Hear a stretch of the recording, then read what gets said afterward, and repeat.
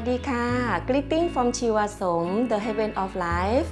My name is Nong. I am a senior holistic therapist at Chiva-Som Today I will show you my top tip to relieve a headache and any pain in the body by using one acupressure point called Hegu or large intestine 4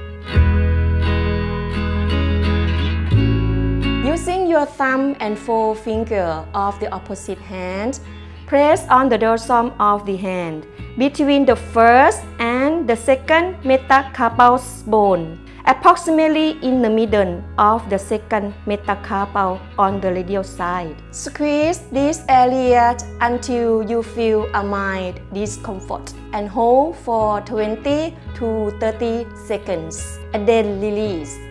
Repeat as often as necessary to get rid of a headache. This point can also be used to relieve pain, such as with a toothache, sore throat, neck pain, knee pain, abdominal pain, constipation, swelling or puffiness of the face, swelling or pain in the eyes. I hope you enjoy this video.